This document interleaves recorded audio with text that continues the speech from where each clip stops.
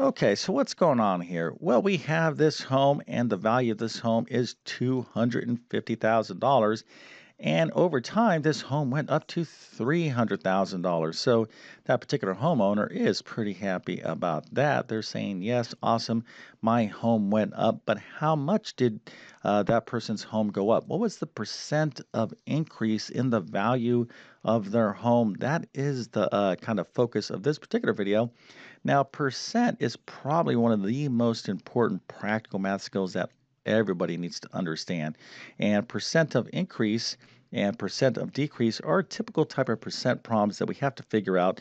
Now, there's formulas for this, uh, but I like to kind of explain things where you don't have to, you know, uh, remember a formula. Just, you know, if you really truly understand percent, you can kind of just use common sense and reason through this. But if you think you could do this problem, put your answer into the comment section and don't feel uh, bad about using a calculator. Remember, a calculator is simply a tool, but we, uh, what you don't want to do is just guess. Okay, so if you happen to get the right answer, uh, but you weren't quite sure, well, I'm going to go through and explain this thoroughly. Matter of fact, I'm going to show you the right answer here in a second, and then we'll go through the solution to this problem. But uh, before we get going, let me quickly introduce myself. My name is John. I'm the founder of TC Math Academy. I'm also a middle and high school math teacher. I've been teaching math for decades, and I'm telling you right now, you could be successful in mathematics. And I'm especially uh, speaking to those of you that struggle in math. Maybe you failed a lot of math courses, maybe you hate math. Listen, okay, it doesn't always have to be that way. You could be successful. I've been teaching math for decades, so I'm not just making this stuff up. But what you need is great math instruction, very clear, understandable, and comprehensive. So if you're at the middle, uh, middle school, high school, or college level in terms of mathematics, check out my Math Help program. You can find a link to it in the description of this video. I promise it will help you out big time. Also, if you happen to be uh, preparing for some sort of special test that has math on it, things like the GED, SAT, ACT, ASVAB, maybe a teacher certification exam, I have a ton of test prep courses that can help you out. If you homeschool, check out my middle and high school math program for homeschoolers. Won a lot of awards this year with uh, that particular program. If you need some math notes, well, I'll leave links to my notes in the description of this video, which are very uh, comprehensive and detailed, but you need to learn how to take your own awesome math notes. That's really, really important to be successful in mathematics.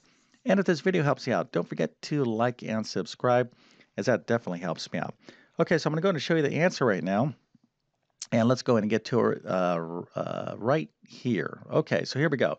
So we have this home. It went up to 300,000. Uh, that's a 20% increase in value. Okay, so you bought the home, and let's say uh, one year later, it went up to 20%. Uh, in value. So if you bought it for 250,000 and it went up 20%, your value of your home is $300,000. So that's pretty awesome. But what's even more awesome if, is uh, if you got this right, that's pretty cool. That means that you understand percent pretty well. And I'm going to give you a nice little happy face and A plus, a 100%, and a few stars so you can have an extra special day Nice job. Okay, so let's go ahead and just kind of reason through this. There is a percent of increase formulas, percent of decrease formulas, but let's just use some common sense here. Okay, so before I show you the um, the work, what happened here mathematically speaking?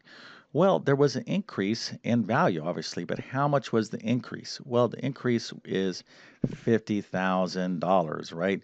So this house went up $50,000. So we want to consider this uh, increase, this amount that it went up, and we want to uh, express this in terms of percent.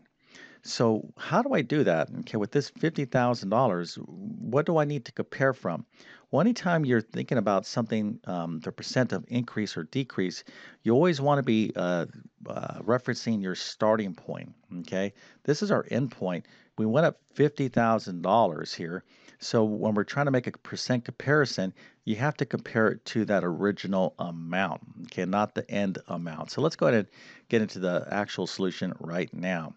Okay, so obviously, you know, if you uh, don't see that this is $50,000, let's go ahead and find the difference. So we're going to take that 300,000 and subtract away 250,000, that's $50,000. Now, if you went 250 minus 300,000, that's negative, right? You would end up with a negative 50,000. You could see this is a positive increase, so you want to find the absolute uh, value of that. Just means that hey, you're gonna uh, the this increase is uh, positive, right?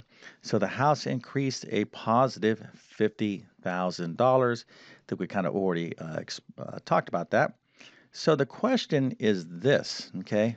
Fifty thousand dollars is what percent of two hundred and fifty thousand? Okay, so remember, we always want to um, when it comes to percent of increase and decrease problems, you always want to start from that original amount. How much did the original amount go up? So you're not thinking about the 300,000, you're thinking about the 250,000, your starting amount. How much from where you started from, what was the percent of increase?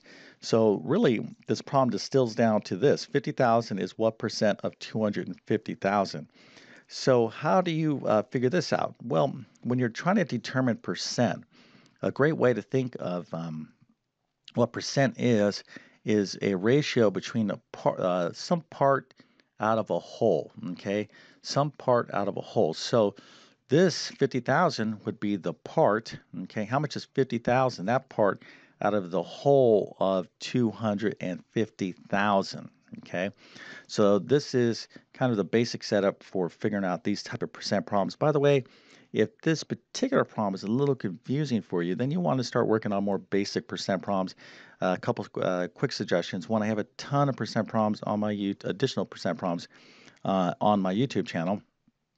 And I have two courses. Uh, I would uh, look in my Math Help program, my Math Foundations course, and my pre algebra course if I want to check out as well if you need to review basic mathematics. But here's the deal we need to figure out 50,000 out of 250,000, and we need to express this as a percent. So let's suppose you were doing this without the aid of a calculator, right? Your teacher said, hey, you don't need a calculator. So the first thing you want to do is simplify this fraction. So when you reduce fractions and we have zeros, uh, you can cross cancel a zero for a zero. Okay, if you didn't know that, you could do that just like that. So this 50,000 out of 250,000 is really uh, the fraction 5 out of 25. So we got to figure out what 5 out of 25 is in terms of percent. And let's go ahead and look at that now. Okay, so 5 out of 25, and of course I could reduce this down further, right, uh, as 1 fifth. And if you saw that, let's actually do that right now. So one fifth is these type of uh, is kind of a typical type fraction like one half. If I asked you, one half is is how much in terms of percent? Well, if you said, oh, that's 50% is the same thing as uh, the fraction one half, that's excellent. How about uh, one third? Okay, if you're like, oh, isn't that like 33%? Yes, right? Or three fourths. What would three fourths be? Let's just do a little pop quiz here. If you said 75%, you're spot on. One fifth is one of these basic fractions as well. So, anyways, I wanted to cross count these zeros. We have 5 uh, 25ths or 1 uh, fifth, but I'll just leave it as 5 25ths here. And you'll see uh, why here in a second. I'm going to leave it as 5 25ths. Okay, so you can go in your calculator and take 5 divided by 25, you get 0.2, or 1 divided by 5, you get 0.2, or maybe you, did, you would just know that one fifth is equal to 20%. But if you didn't, you could simply just use a calculator. And now we have to be able to go from a decimal to a percent. So how do you go from a decimal to percent? Well, you multiply by 100, and that's effectively the same thing as moving the decimal point two places to the right. Okay, so if I move that point two right here, two places to the right, I'm going to end up with uh, 20.0 or 20.0%. So there you go. That is 20%. That is the percent of increase. Okay, so 50,000 is 20% of 250,000. But let's suppose um, uh, you didn't have a calculator and you didn't want to do this work and you didn't know that one fifth uh, was 0.2. How else could we do this? Well, if you understand the definition of percent, then this is a pretty easy problem as well. Okay, you could come at it this way. Percent by definition is a ratio. It's a fraction where the denominator is 100. It's where we compare a, uh, a number to 100. That is the technical definition of percent. So if I have this fraction 5 over 25, and I say, you know what, if I multiply that 25 by 4, I'll get 100. Okay, so uh, if I'm going to multiply the denominator by uh, 4, then I got to multiply the numerator by 4. So 5 times 4 is 20. Now I have a fraction, a number that I'm comparing to 100. So 20 is being compared to 100. Uh, so this is my percent. That's 20%. So a number being compared to 100, i.e., the denominator is uh, 100. That number, in fact, is uh, the percent. So that is 20%. So that's another way you could think about, um, uh, you know, calculating the actual solution here. But again, there are formulas for the percent of increase and percent of decrease. Um, type of percent problems that you will face, you will definitely face uh, in mathematics. But I like to just kind of reason through this with common sense.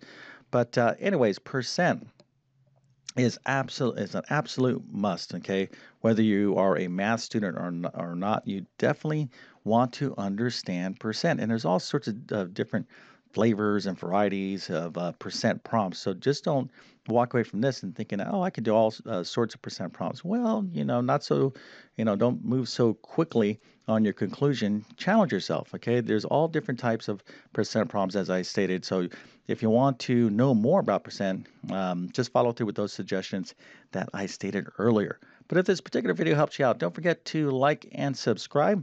And with that being said, I definitely wish you all the best in your mathematics uh, adventures. Thank you for your time and have a great day.